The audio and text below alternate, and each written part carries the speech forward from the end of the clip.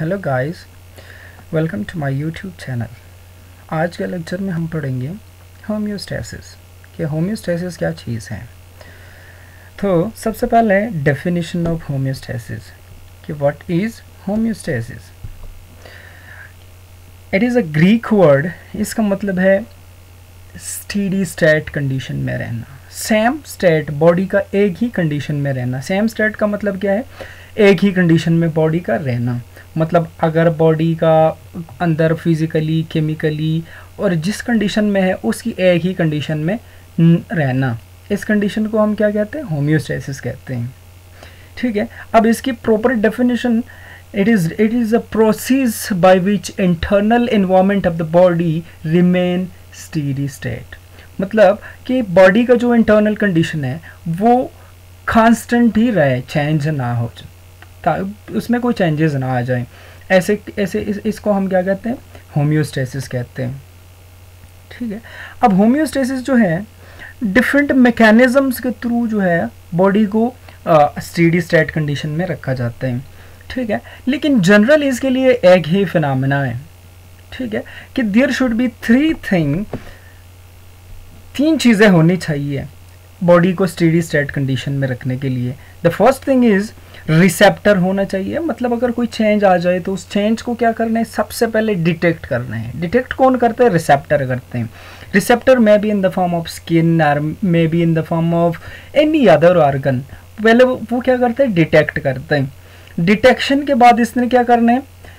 To send message to the central nervous system अब ये जो डिटेक्टर है डिटेक्टर क्या करते हैं? सेंट्रल नर्वस सिस्टम को मैसेज सेंड करते हैं। After sending the message to central nervous system अब सेंट्रल नर्वस सिस्टम ने क्या करना है? Send back the message to responder अब थर्ड पार्टी कौन सी है? थर्ड आर्गन कौन सा होता है? थर्ड पार्टी इसमें ये है कि इफेक्टर है। मतलब इफेक्टर ने क्या करना है? प्रॉपरली रिस्पॉन्ड करना है। रिसेप्टर क्या करते हैं? कैच अप द चेंजेस और फिर क्या करते हैं? Send that changes in to central nervous system और सेंट्रल नर्वस सिस्टम ने फिर क्या करना है? इफेक्टर को स्टिमुलेट करके चेंज के अगेंस्ट जो है रिस्पॉन्ड करना है। और इस चेंज को इधर इस चेंज को काउंटर करना है या इस चेंज को फर्दर इंक्रीज करना है। इसकी चेंज को इंटेंसिफाई करना है। ठीक है? उस इंटेंसिफाई और काउंटर के बेस पे फिर हम इस मैकेनिज्म को टू में डिवाइड करते हैं। उसको एक को हम क्या कहते हैं? पॉजिटिव फीडबैक मैकेनिज्म और एक को हम कहते हैं निगेटिव फीडबैक मैकेनिज्म अब इन दो मैकेनिज्म के थ्रू बॉडी को क्या बॉडी क्या करते हैं? Remains in the steady state now what is positive feedback mechanism and what is negative feedback mechanism positive feedback mechanism में हमारे पास क्या होता है कि जो चेंज आ जाए बॉडी में any change if any change happens in the body और उस चेंज को इंटेंसिफाई किया जाए इंक्रीज किया जाए तो इसको हम क्या कहते हैं? पॉजिटिव फीडबैक मैकेनिज्म कहते हैं। और अगर ऑन द अदर हैंड अगर एक चेंज आ जाए और उस चेंज को काउंटर किया जाए मतलब उसको रेजिस्टेंस उसको डिक्रीज किया जाए, उसकी, उसको, उसके अगेंस्ट कोई एक्शन हो जाए तो ऐसे मैकेनिज्म को, ऐसे लूप ऑफ़ मैकेनिज्म को फिर हम क्या कहते हैं? Negative feedback mechanism like I am giving you example a positive feedback mechanism अगर ड्यूरिंग डिलीवरी डिलीवरी क्या होते हैं कि जब बच्चा पैदा होता है तो यूटेराइन मसल्स की कंट्रैक्शन होती है। Contraction of the uterine muscles होते हैं। अब वो यूटेराइन मसल्स जो है, उसकी कंट्रैक्शन थ्रू हार्मोन होते हैं। अब वो हार्मोन की रिलीज़ जो है ड्यूरिंग चाइल्ड बर्थ उस हार्मोन हार्मोन्स की रिलीज़ इंक्रीज हो जाती है और उस कंट्रैक्शन ऑफ़ द यूटरस को मज़ीद इंटेंसिफाई किया जाता है, उस कंट्रक्शन को स्ट्रॉन्ग बनाया जाता है ताकि चाइल्ड बर्थ के दौरान मदर फील ईजी ठीक है? On the other hand negative feedback mechanism अब अगर during a process like thermoregulation temperature of the surrounding increase हो जाए, ठीक है? Temperature of the surrounding increase हो जाए तो इस दौरान बॉडी क्या करते हैं?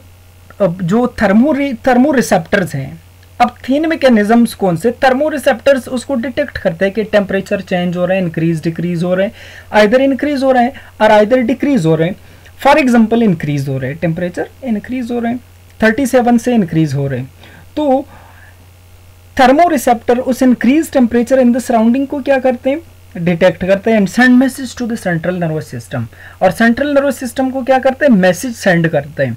After sending the message to the central nervous system अब वो क्या करते हैं? Central nervous system gives back the message to the effector अब इफेक्टर यहाँ पे कौन कौन से? हैं मतलब यहाँ पे वेसल वेसल्स जो है ब्लड वेसल्स वो mostly work is a factor तो उसमें क्या होता है कि वेसल्स डायलेट हो जाते हैं. विजो डायलिटेशन हो जाते हैं। और विजो डायलिटेशन के बाद क्या होता है कि विजो डायलिटेशन के बाद blood flow to the extremities increase हो जाती हैं। और blood flow to the extremities जब इंक्रीज हो जाए तो वहाँ से इवापोरेशन स्वेट ग्लैंड जो है also activated by the central nervous system और वहाँ से स्वेट ग्लैंड जो है, वो स्वेट ग्लैंड्स फ्लूड को क्या करते हैं? ब्लड से एवापोरेट करते हैं और बॉडी के टेम्परेचर को मेंटेन रखा जाते हैं। This two are basically major mechanisms are major loops by which homeostasis मैं भी अटेंड अब, वही एग्जांपल है कि if the external temperature varies the day from season to season sometime as much more 40 degree centigrade और कभी कभी 37 से बिलो आ जाते हैं। ठीक है? तो इस इस दौरान बॉडी को बॉडी के टेम्परेचर को मेंटेन रखा जाता है। क्योंकि organisms are divided into two groups ectotherm and endotherms ठीक है? अब एक्टोथर्म्स वो है जो जिसकी बॉडी का temperature according to the surrounding जो है, वो चेंज होता रहता है। लेकिन एंडोथर्म ऐसा होता है कि सराउंडिंग का टेम्परेचर अगर इंक्रीज होता है या डिक्रीज होता है तो फिर भी उसका टेम्परेचर जो है remains constant and we are human and humans are endotherm मतलब उसकी बॉडी का टेम्परेचर जो है रिमेन सेम ठीक है? तो अब अगर टेम्परेचर इंक्रीज हो जाए becomes more than 37 degree centigrade तो क्या होते हैं? ओवर हीटिंग के दौरान। ओवर हीटिंग के दौरान क्या होता है? स्वेटिंग होता है और विजो डायलेशन होता है और विजो डायलिटेशन होता है। तो इस, इसकी वजह से बॉडी का जो टेम्परेचर है, वो क्या हो जाते हैं? Remains the same at thirty seven ठीक है? अब अगर कूलिंग हो जाए सराउंडिंग में बहुत ज़्यादा ठंड पड़ रहा है, ठीक है? तो इस दौरान क्या होता है? विजो कंस्ट्रक्शन और स्वेट प्रोडक्शन जो है, वो स्टॉप हो जाते हैं और बॉडी शिवरिंग स्टार्ट करते हैं। ड्यूरिंग शिवरिंग जो है कंजम्पशन सेलुलर रेस्पिरेशन इंक्रीज हो जाते हैं और consumption of energy glucose increase हो जाते हैं और एटीपी प्रोडक्शन ज़्यादा होते हैं। तो इसके दौरान क्या होते हैं? एनर्जी प्रोडक्शन होते हैं और बॉडी का टेम्परेचर इंक्रीज हो जाते हैं। ठीक है? सो so, पहले स्वेटिंग का मैकेनिज्म अगर बॉडी का टेम्परेचर जो है the body temperature rises the sweat gland in the skin are activated and secrete sweat on the surface of the skin and when the sweat evaporates, it takes heat from the body and cools it down. मतलब कि जब body का temperature जो है, वो increase हो जाए तो स्वीट ग्लैंड जो है, वो एक्टिवेट हो जाते हैं और वहाँ से फ्लूड एवापोरेशन शुरू हो जाते हैं और वो एवापोरेशन क्या करते हैं? बॉडी के टेम्परेचर को मेंटेन रखते हैं। अब यहाँ पे देखें कि वेसल्स जो है स्वीट ग्लैंड्स एक्टिवेट हो जाते हैं और वेसल्स डायलेट हो जाते हैं। तो स्वीट ग्लैंड्स क्या करते हैं? स्वेट ग्लैंड्स यहाँ से, इन वेसल्स से फ्लूड लेके सरफेस ऑफ़ द बॉडी पे लेके आते हैं। और जो स्वेट पोर है, यहाँ सरफेस ऑफ़ द बॉडी पे लेके आते हैं। तो यहाँ से एवापोरेशन फ्रॉम द बॉडी होते हैं। ये डिफरेंट लेयर दिखाए गए ब्लड वेसल्स यहाँ पे फिर यहाँ पे स्वेट ग्लैंड स्वेट ग्लैंड के साथ sweat duct dermis, epidermis, and surface of the body. ठीक है? तो यहाँ से इन वेसल्स से क्या होता है कि वापोरेशन ऑफ़ फ्लूड लिया जाता है। फ्लूड यहाँ से लिया जाता है। और कौन लेते हैं? स्वेट ग्लैंड्स लेते हैं। स्वेट ग्लैंड्स जब एक्टिवेट हो जाते हैं सो यहाँ पे क्या है? Basically this sweat gland basically carries fluid from the vessels, dilated vessels. एक तो vessels dilate हो जाते हैं, flow of the blood to the extremities increase हो जाती है। तो यहाँ से इस इंक्रीज ब्लड फ्लो से यहाँ से फ्लूड लिया जाता है और यहाँ पे इस डक्ट के through surface of the body पे आते हैं। जब सरफेस ऑफ़ द बॉडी पे फ्लूड आते हैं तो बॉडी का टेम्परेचर रिमेन्स नॉर्मल डिक्रीज किया जाता है बॉडी का टेम्परेचर अब विसो विसोडाइलेशन यहाँ पे देखें if the body temperature rises the blood vessels in the skin dilate अब स्किन पे जो जितने भी मतलब हमारे लेयर्स ऑफ़ स्किन है उसमें जितने भी वेसल्स हैं वो क्या हो जाते हैं? डायलेट डायलेट डायलेशन का मतलब क्या है? वो वाइड हो जाते हैं वाइडनिंग हो जाती है उसकी खुल जाते हैं। तो उस, उस, उस खुले हुए और ओपन हुए वेसल्स में ब्लड फ्लो ज़्यादा होती है ठीक है? तो इस वजह से क्या होता है कि लॉस ऑफ़ हीट होता है। लॉस ऑफ़ हीट किस तरह होते हैं कि यहाँ से फ्लूड वगैरह ऑपरेशन वगैरह इंक्रीज हो जाते हैं और साथ साथ में जो फ्लो फ्लो ब्लड है, उस फ्लो के दौरान हीट लॉस होते हैं बॉडी से। अब अगर कूलिंग हो जाए ओवर कूलिंग हो जाए, ठीक है तो क्या होता है विजो कंस्ट्रक्शन होता है। वेसल्स जो है कंस्ट्रक्ट हो जाते हैं। अगर बॉडी का टेम्परेचर जो है वो डिक्रीज हो जाए तो यहाँ पे लुक इट दीज वेसल्स ये वेसल्स क्या है? डाइलेटेड है। लेकिन जब बॉडी का टेम्परेचर जो है डिक्रीज हाँ, हो जाए तो vessels becomes narrow like look at here vessels यहाँ पे नैरो दिखाए गए। तो इन नैरो वेसल्स की वजह से एक तो क्या होता है कि फ्लूड लास्ट डिक्रीज हो जाते हैं। मतलब जिस तरह डायलेटेड वेसल्स में जितना फ्लो ऑफ़ ब्लड इंक्रीज हो इंक्रीज फ्लो ऑफ़ ब्लड होती है तो उस इंक्रीज ब्लड फ्लो की वजह से अब क्या के बजाय अब क्या है? डिक्रीज ब्लड फ्लो है। तो उस डिक्रीज ब्लड फ्लो की वजह से एक तो इवापोरेशन प्रोसेस डिक्रीज हो जाते हैं। मतलब स्वेट फॉर्मेशन स्वेट का जो स्वेट का निकलना स्वेट ग्लैंड्स उसकी वो डीएक्टिव हो जाते हैं और साथ साथ में यहाँ पे डिक्रीज ब्लड फ्लो की वजह से डिक्रीज इवापोरेशन होते हैं। तो उस डिक्रीज इवापोरेशन की वजह से बॉडी का टेम्परेचर जो है वो इंक्रीज होता रहता है और साथ साथ में नैरो वेसल्स में फ्लो ब्लड डिक्रीज होते हैं। तो डिक्रीज ब्लड फ्लो की वजह से लॉस ऑफ़ हीट डिक्रीज होता है डिक्रीज लॉस ऑफ़ हीट होता है। तो इसलिए बॉडी का जो इंटरनल टेम्परेचर है, वो remains constant other thing is shivering अब अगर बॉडी का टेम्परेचर डिक्रीज हो जाए डिक्रीज टेम्परेचर की वजह से मसल कंट्रक्शन जो है involuntary uncontrollable contraction of muscle शुरू हो जाते हैं। अब ये कंट्रक्शन किस वजह से होते हैं? क्यों होते हैं? क्योंकि during contraction consumption of a होते हैं और प्रोडक्शन ऑफ़ ए होते हैं। तो और इन ए की कंजम्पशन और प्रोडक्शन के दौरान बॉन्ड ब्रीक हैज़ होते हैं। बॉन्ड ब्रीक्स हो बॉन्ड्स ब्रीक हो जाते हैं। तो उन, उस, उसकी वजह से क्या होते हैं कि प्रोडक्शन ऑफ़ हीट होते हैं। क्या होते हैं? प्रोडक्शन ऑफ़ हीट होते हैं। सो उस हीट के प्रोडक्शन की वजह से हमारे पास क्या होते हैं कि टेम्परेचर बॉडी का इंक्रीज होना शुरू हो जाते हैं।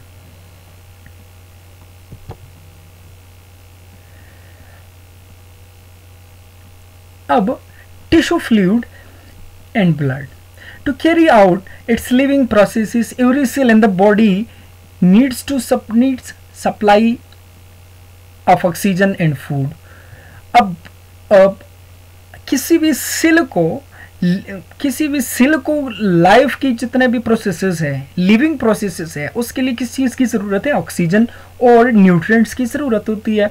अब ये ऑक्सीजन और ये न्यूट्रिएंट्स जो है is supplied through a fluid through a fluid तो वो फ्लूड क्या है हमारे पास? वो ब्लड है।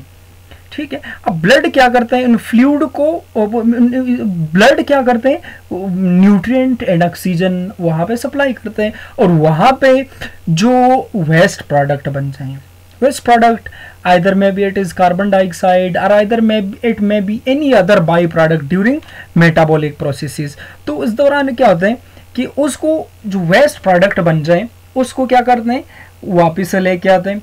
और जो टारगेट अर्गन अर्गन है लाइक अगर यहाँ पे आ, यूरिया कहीं पे यूरिया बन रहा है तो यूरिया को ब्लड ने कहाँ पे पहुंचाना है? किडनीज में। और किडनीज उसको क्या करते हैं? रिमूव फ्रॉम द बॉडी और अगर कार्बन डाइऑक्साइड है तो कार्बन डाइऑक्साइड को लंग्स तक लेके जाते हैं और लंग्स के थ्रू बॉडी से बॉडी से निकाल देते हैं। एक्सक्रीट आउट करते हैं। अब ये this is also homeostatic mechanism अब अगर किसी भी वजह से, किसी भी वजह से इसकी एक एक भी चीज़ की ट्रांसपोर्ट में थोड़ा सा फ़र्क आ जाए तो उस चीज़ की concentration inside the body like carbon dioxide transport में फ़र्क आ जाए। इंजाइम्स डिफिशेंट हो जाए या कोई इंजाइम्स ड्यू टू म्यूटेशन नहीं बन रहे तो कार्बन डाइऑक्साइड स्टार्ट से कामुलेशन इन द टिश्यूज ठीक है? तो it is it may be very hazardous अब अगर यूरिया की अमोनिया यूजुअली अमोनिया जो है बनती है तो अब अगर ये अमोनिया टिश्यूज़ में एकमुलेशन हो जाती है अमोनिया की तो अमोनिया में काज डैमेजेस और अगर कोई अदर बाई प्रोडक्ट है, उसके ट्रांसपोर्ट मैकेनिज्म में कोई फ़र्क आ जाए, ठीक है? तो उसके that may have hazardous effects like here it is shown ये हमारे पास क्या है? टिश्यू सेल्स हैं। ऊपर जो दिखाया गया टिश्यू सेल्स रोट हियर ठीक है? और ये क्या है हमारे पास? वेसल्स हैं ब्लड वेसल्स अब ये ब्लड वेसल्स क्या करते हैं? Supplies to the tissues tissues को टिश्यूज के सेल्स को, इन सेल्स को क्या करते हैं? सप्लाई करते हैं। लाइक ग्लूकोज सप्लाई करते हैं ऑक्सीजन सप्लाई करते हैं। और यहाँ से waste product like carbon dioxide जो है, इसको क्या करते हैं? यहाँ से टिश्यू से लेके to the organ of excretion लेके जाते हैं। To the organ of excretion like lungs में लेके जाते हैं, ठीक है?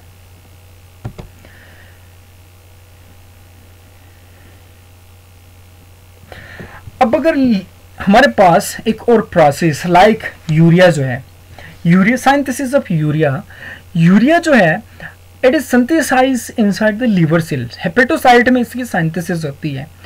अब अगर उसकी साइंथिस के लिए रिक्वायर्ड इंजाइम्स उसमें कोई फ़र्क आ जाए so this urea will start accumulate in the tissues and will cause damage ठीक है?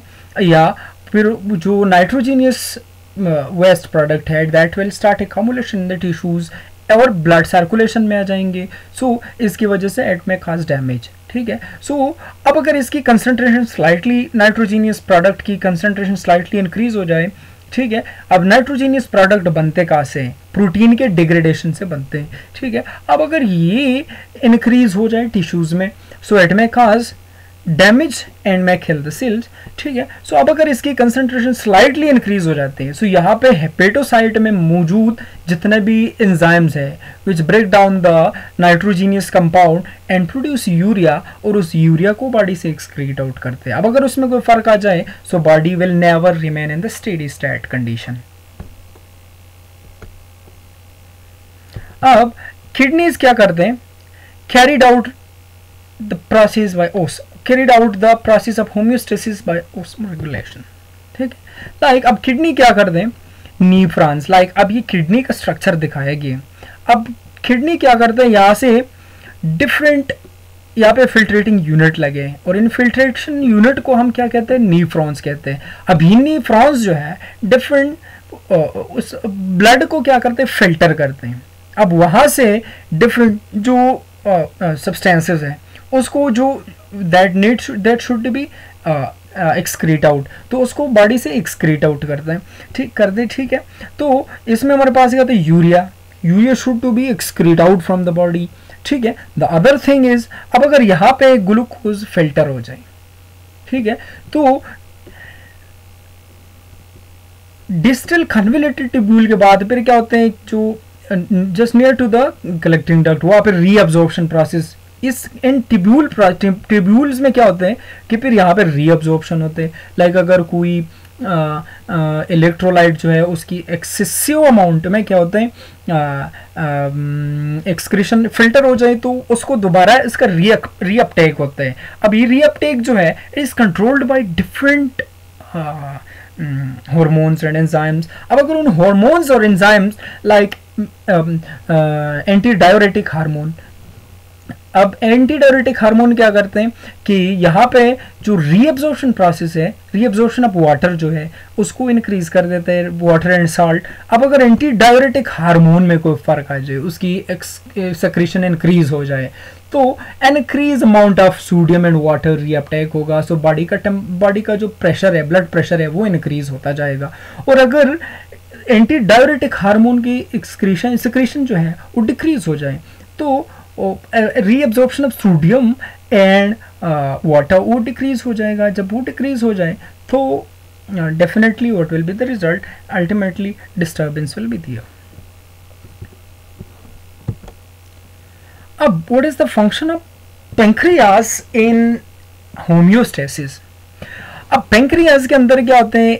अल्फ़ा एंड बीटा सेल्स अब ये alpha and beta cells produce two hormones उसको हम क्या कहते हैं? इंसुलिन एंड ग्लूकोगॉन ठीक है? Beta cell produce insulin and alpha cell produce glucagon ठीक है? अब अगर इंसुलिन की सिक्रेशन इंक्रीज हो जाए increase amount of secretion of insulin हो जाए तो उसकी वजह से बंदे को क्या होता है कि कंजम्पशन ऑफ़ ग्लूकोज जो है ग्लूकोज का कंजम्पशन बहुत ज़्यादा होता है और बंदा किस कंडीशन में जा सकता है? हाइपोग्लाइसेमिक कंडीशन में जा सकते हैं। So again it is a disturbance ये दो हार्मोन जो है, एक दूसरे को रेगुलेट करते हैं। अब अगर इंसुलिन की सक्रीशन इंक्रीज हो जाए as compare to glucagon so बंदा हाइपोग्लाइसेमिक कंडीशन में चला, जा सकता है। अब अगर इंसुलिन के फ़ंक्शन में लॉस ऑफ़ इंसुलिन में लॉस ऑफ़ फ़ंक्शन हो जाए मतलब इंसुलिन अपना फ़ंक्शन प्रॉपरली नहीं कर सकता है। तो इंसुलिन की एम प्रॉपर फ़ंक्शन की वजह से कंसंट्रेशन ऑफ़ ग्लूकोज जो है, ये इन द ब्लड सर्कुलेशन वो डिक्रीज हो जाते हैं। क्यों? क्योंकि इंसुलिन और the hormone which are responsible for the consumption of glucose by tissues अभी टिश्यूज को टिश्यूज जितने भी हैं, उसको, उसकी जो कंजम्पशन ऑफ़ ग्लूकोज करता है, ठीक है, उसके लिए रिस्पॉन्सिबल इंसुलिन इज़ रिस्पॉन्सिबल ठीक है। और अब इंसुलिन क्या करते हैं? जो एक्सेस ऑफ़ ग्लूकोज जो है एक्सेस ऑफ़ ग्लूकोज उसकी कंजम्पशन करते हैं। अब अगर इंसुलिन की सक्रेशन इंक्रीज हो जाए, ठीक है तो उसको काउंटर करने के लिए ग्लूकोगॉन ग्लूकोगॉन क्या करते हैं? उसको काउंटर करते हैं ग्लूकोगॉन, ठीक है? अब उसकी काउंटर एक्शन क्या है? मतलब अवेलेबल ग्लूकोगॉन अब ग्लूकोज को क्या करते हैं? स्टोर इनसाइड द हेपेटोसाइट्स ठीक है? ग्लूकोज को ग्लाइकोजन फॉर्म में कन्वर्ट करके हेपेटोसाइट में स्टोर करते हैं। सो इन दोनों का एक्शन एक दूसरे के अपोजिट है और ये दोनों एक दूसरे को बैलेंस में रखते हैं। अब अगर इंसुलिन में लॉस ऑफ़ फ़ंक्शन हो जाए ठीक है? तो glucose level in the blood जो है, उस, वो इंक्रीज हो जाता है और ऐसे कंडीशन को हम डायबिटीज़ मिलाइटिस कहते हैं, जिसको उर्दू में जियाबेतिस कहते हैं। ठीक है? अदर एग्ज़ाम्पल इज़ अगर इफ़ टेम्परेचर जो है निगेटिव फीडबैक मैकेनिज्म का, जिसके थ्रू बॉडी को नॉर्मल कंडीशन में रखा जाता है, जिसको हम थर्मोरेगुलेशन कहते हैं, ठीक है? If temperature blood temperature rises, heat gain. Center in the brain sends nerve impulse to the skin which causes vasodilation and sweating, the old mechanism, the old one mechanism which we discussed already on slide number 5. ठीक है if the blood temperature falls अगर temperature of blood जो है वो decrease हो जाए तो उसके रिज़ल्ट में क्या आते हैं कि लॉस ऑफ़ हीट होते हैं तो सेंट्रल नर्वस सिस्टम से central nervous system sends impulses to the skin and causes vasoconstriction. और vessels को सेंट्रल नर्वस सिस्टम क्या करते हैं? सेंड्स मैसेजेस और बीटा रिसेप्टर्स जो receptors on the surface of vessels होते हैं, उसको क्या करते हैं? एक उसकी एक्टिवेशन करके उसको वेसल्स को कंस्ट्रक्ट करते हैं। ठीक है? और स्वेटिंग का जो प्रोसेस है, उसको डिक्रीज करते हैं। मतलब एक्टिवेशन जो पहले ड्यूरिंग टेम्परेचर राइज हुआ था, जो टेम्परेचर राइज के दौरान जो प्रोसेस हुआ था मतलब टेम्परेचर उसके बिल्कुल अपोजिट प्रोसेस होते हैं। मतलब यहाँ पे वेसो डायलिटेशन वेसल्स ओपन हो जाते हैं। और यहाँ पे वेसल्स क्या होते हैं? हमारे पास वेसल्स कंस्ट्रक्ट हो जाते हैं नैरो हो जाते हैं। ठीक है? नैरोइंग अपोसेल्स की वजह से फ्लो ब्लड डिक्रीज होते हैं और साथ साथ में सेसेशन ऑफ़ स्वेटिंग होते हैं। और the third important process during lower temperature is shivering shivering के दौरान क्या होता है? Consumption of ATPs and consumption of energy और उसी दौरान क्या होते हैं? प्रोडक्शन ऑफ़ हीट होते हैं सो बॉडी का टेम्परेचर नॉर्मल रखा जाता है। ठीक है? अनदर एग्ज़ाम्पल इज़ एस्ट्रोजन अब अन, इसके दौरान क्या होते हैं कि पिछोटरी हार्मोन एक एक पिछोटरी पिछोटरी ग्लैंड जो है ये क्या करते हैं? एक प्रोड्यूसेस हार्मोन जिसको हम क्या कहते हैं? फॉलिकल स्टिमुलेटिंग हार्मोन कहते हैं। अब फॉलिकल स्टिमुलेटिंग हार्मोन क्या करते हैं? It causes the ovaries to produce oestrogen अब एस्ट्रोजन क्या करते हैं? Thickening of the walls of the uterus करते हैं। यूट्रस के वॉल्स को क्या करते हैं? मैक इट्स थिकर ठीक है? तो अब आफ्टर सर्टन लेवल अब इसका एक सर्टन एक स्पेसिफिक वैल्यू है। उस स्पेसिफिक वैल्यू से अगर ये इंक्रीज कर जाए, ठीक है? तो एस्ट्रोजन का एक लेवल पहुँच जाए लेवल तक पहुँच ब्लड सर्कुलेशन में तो it sends messages to the central nervous system और central nervous system act on pituitary gland to stop production of follicle stimulating hormone so जब फॉलिकल स्टिमुलेटिंग हार्मोन का प्रोडक्शन डिक्रीज हो जाए stop हो जाए सो directly oestrogen क्या करते हैं? एस्ट्रोजन की सक्रेशन डिक्रीज होती है तो ये एक दूसरे को क्या करते हैं? खुद ही नेगेटिव फीडबैक मैकेनिज्म के थ्रू कंट्रोल करते हैं। मतलब आफ्टर सर्टन लेवल अगर ये अप टू सर्टन लेवल अगर ये पहुँच जाए तो it sends messages to the central nervous system और सेंट्रल नर्वस सिस्टम में मैसेज भेजने के बाद पिछुटरी ग्लैंड को स्टॉप किया जाते हैं for the purpose of वर्ट for the purpose of to stop the production of follicle stimulating hormone अब जब फॉलिकल स्टेमुलेटिंग हार्मोन की प्रोडक्शन स्टॉप हो जाए तो हमारे पास क्या होते हैं कि एस्ट्रोजन की production directly follicle dependent on the secretion of follicle stimulating hormone so follicle stimulating hormone का जब सक्रीशन स्टॉप हो जाए so oestrogen secretion also stop so and after some time अगर लेवल ऑफ़ एस्ट्रोजन डिक्रीज हो जाए from that certain level तो again it sends messages to the central nervous system to produce more FSH and that that, that FSH will stimulate ovaries to produce more estrogen. So this is another example of uh, negative feedback mechanism as shown here कि यहाँ पे हमारे पास क्या है we have a pituitary gland here ठीक है और ये पिट्यूटरी ग्लैंड क्या करते हैं प्रोड्यूस फॉलिकल स्टिमुलेटिंग हार्मोन और ये फॉलिकल स्टिमुलेटिंग हार्मोन ओवरी को क्या करते हैं? स्टिमुलेट करके क्या प्रोड्यूस करते हैं? एस्ट्रोजन प्रोड्यूस करते हैं। क्या प्रोड्यूस करते हैं? एस्ट्रोजन और अब ये एस्ट्रोजन क्या करते हैं? जाकर यूटिराइन वॉल्स की थिकनिंग करते हैं। यूटिरस के वॉल्स का थिकनिंग करते हैं। अब after up to certain level जब ये एस्ट्रोजन पहुँचा है up to certain level oestrogen का जो नॉर्मल लेवल है, उस तक पहुँचा है तो वहाँ तक पहुँचने के बाद हमारे पास क्या होता है कि it sends messages back to the central nervous system और वहाँ से प्रोडक्शन ऑफ़ एफएसएच डिक्रीज हो जाते हैं।